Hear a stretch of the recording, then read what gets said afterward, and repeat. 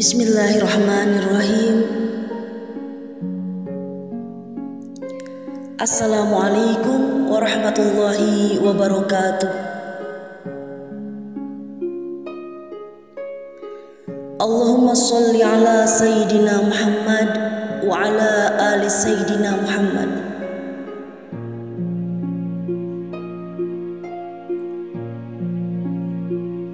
Pada kesempatan kali ini, saya akan berbagi sebuah kisah. Seorang ibu yang tinggal bersama putranya yang sudah berumah tangga. Namun sikap dan perlakuan sang menantu membuat putra dari ibu itu geram hingga ia dengan tegas mengusir istrinya sendiri.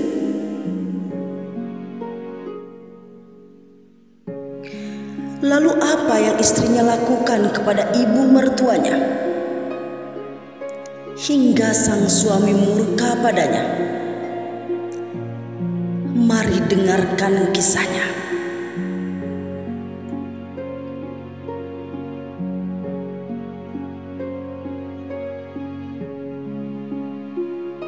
Kisah berawal dari seorang ibu yang mempunyai satu anak laki-laki.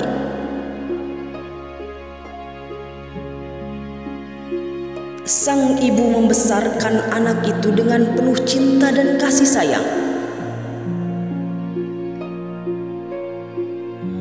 Walau dengan keterbatasan, beliau berjuang siang dan malam untuk membesarkan buah hatinya.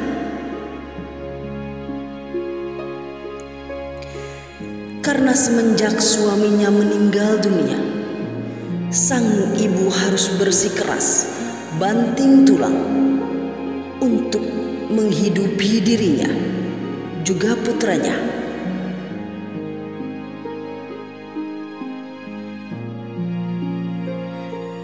Namun, alhamdulillah, berkat kegigihan juga kerja kerasnya putranya dapat tersekolahkan hingga bangku kuliah dengan prestasi yang sangat luar biasa.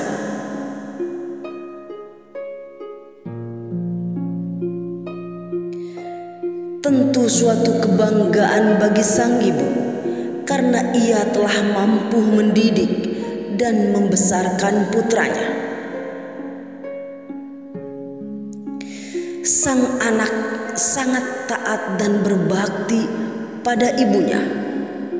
Dan dia sering sekali membantu sekedar meringankan beban ibunya.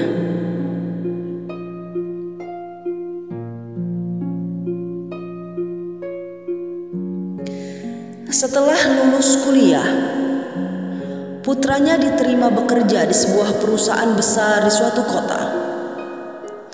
Tentu kabar itu membuat senang hati sang ibu. Kini anaknya yang menjadi tulang punggung ibunya. Dan anaknya meminta ibu untuk tinggal bersamanya. Karena hasil kerjanya, ia tabungkan untuk kredit sebuah rumah. Dan sebagian ia kirimkan ke kampung untuk biaya hidup ibunya.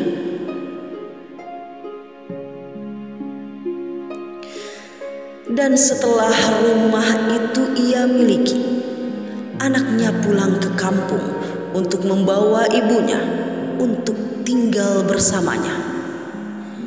Dan tinggallah pula seorang asisten rumah tangga untuk membantu sang ibu kala ibu butuhkan sesuatu.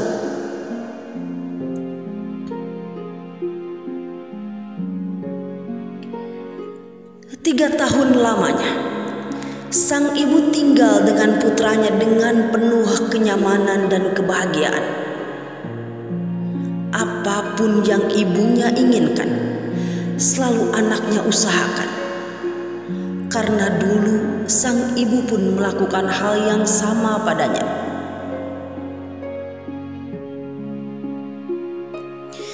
cinta ibu yang terlalu sempurna bagi anaknya, maka merupakan suatu kewajiban bagi anak untuk berbakti dan membahagiakan ibu di masa tuanya.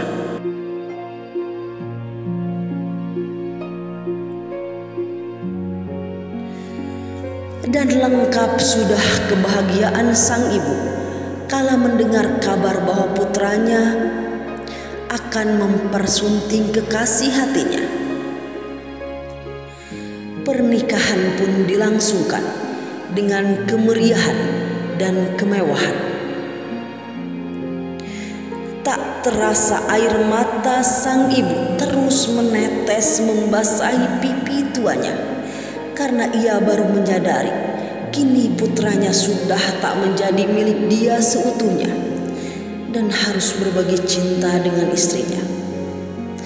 Dan baru disadari pula bahwa dirinya telah menjaga dan merawat putranya selama puluhan tahun seorang diri tanpa ada sosok suami di sampingnya. Sungguh suatu anugerah baginya di saat melihat anak yang dicintainya bersanding dengan wanita yang ia sayang dengan senyum bahagia terpancar dari wajahnya.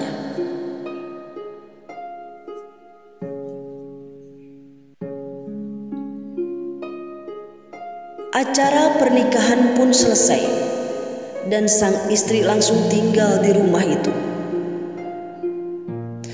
Namun seminggu setelah pernikahan, sikap menantu kepada mertuanya mulai berubah.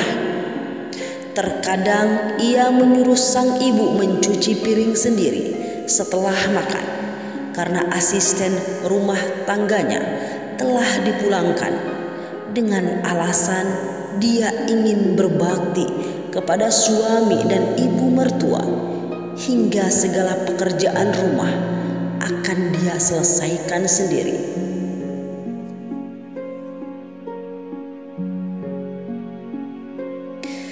Namun ucapan yang membahagiakan suaminya itu tak sesuai kenyataan. Sang suami bangga dan bahagia mendengar ucapan istri yang menurutnya istri solehah yang akan menyayangi ibunya seperti dia yang tak pernah henti untuk mencintai ibunya.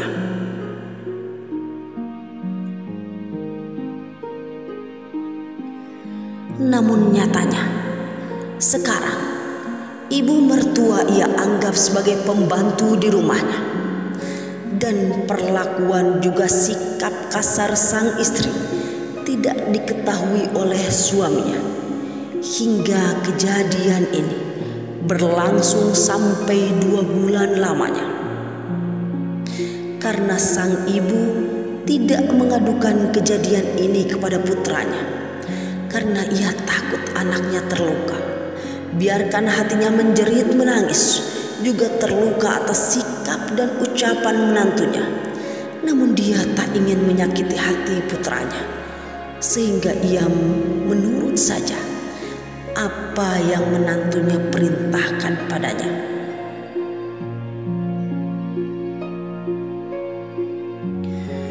Namun pada suatu hari putranya pulang kerja lebih awal dan kebetulan tidak memberitahu istri juga ibunya.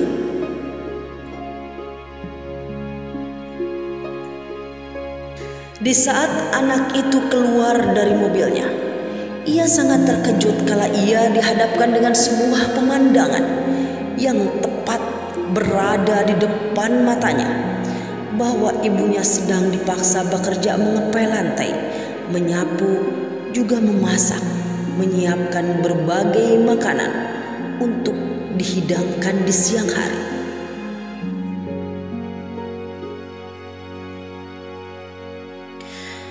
Anak itu tidak langsung masuk ke rumah, ia berdiri di belakang pintu, melihat juga mendengar semua yang istrinya lakukan kepada ibunya.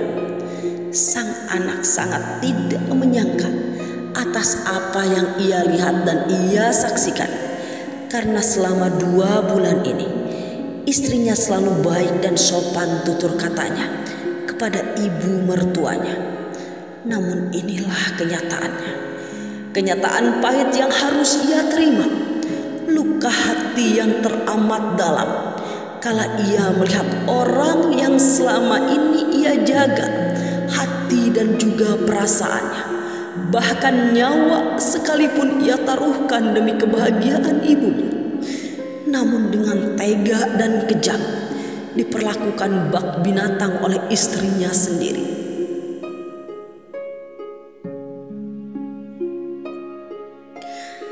Setelah sekian lama ia berdiri di balik pintu, terdengar ucapan istrinya yang membentak dan mengusir ibu mertuanya karena ia tak sudi untuk tinggal bersama nenek tua yang menjijikan dan sang istri pun berulang kali mengatakan bahwa ibunya telah numpang hidup pada suami dan juga dirinya.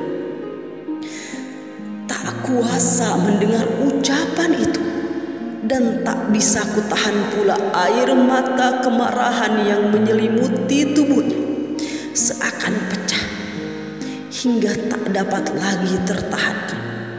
Sang suami masuk ke dalam rumah dan mengambil semua baju istrinya.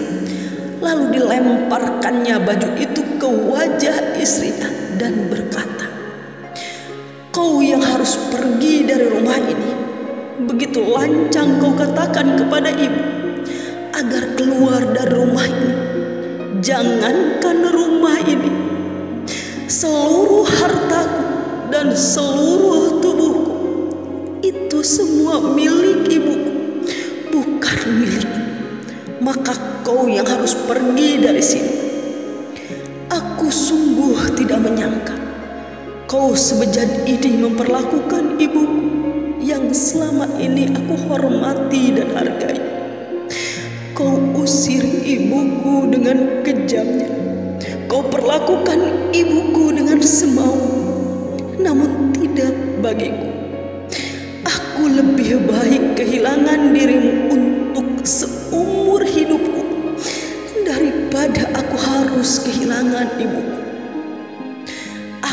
Bisa mencari pengganti lebih dari berapapun yang ku mau.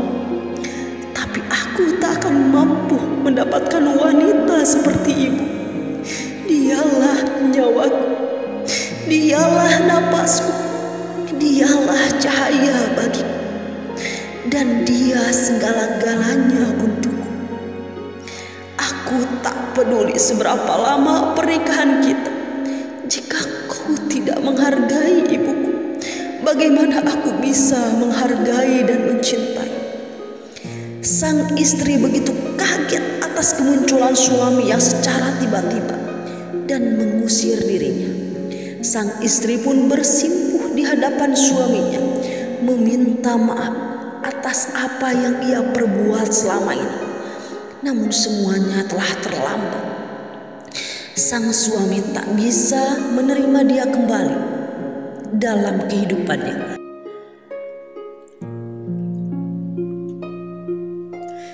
Karena baginya lebih baik dia hidup seorang diri tanpa istri di sampingnya asalkan ia tetap berada di samping ibunya yang kesempatan itu mungkin tidak akan lama lagi ia dapatkan. Akhirnya sang istri itu keluar dengan isak tangisnya. Lalu sang anak bersujud, bersimpuh di hadapan ibunya, meminta maaf atas segala yang ia dapatkan dari istrinya. Atas sikap kasar istrinya yang selama ini tidak diketahuinya. Sang ibu pun memeluk erat putranya dan berkata, Ibu telah memaafkan sebelum kau memintanya. Subhanallah. Sebuah kisah yang memberi teguran kepada kita agar tidak berhenti untuk selalu mencintai dan menyayangi ibu kita apa pun keadaan. Seperti dalam kisah ini, seorang anak dengan ikhlas kehilangan istri yang baru dua bulan dinikahinya karena dia tidak menyayangi ibunya seperti kasih sayang ia rela kehilangan perempuan yang dicintainya asalkan jangan kehilangan ibunya Ibu yang selama ini menjaga dan merawatnya. Ibu yang selama ini berkorban untuknya. Ibu yang selama ini menaruhkan nyawa baginya. Semoga kisah ini membuka mata hati kita agar lebih mencintai dan menyayangi orang tua seperti mereka yang telah menyayangi kita. Sekian kisah yang dapat saya sampaikan. Kurang dan lebihnya mohon dimaafkan. Akhirul kalam. Wassalamualaikum warahmatullahi wabarakatuh.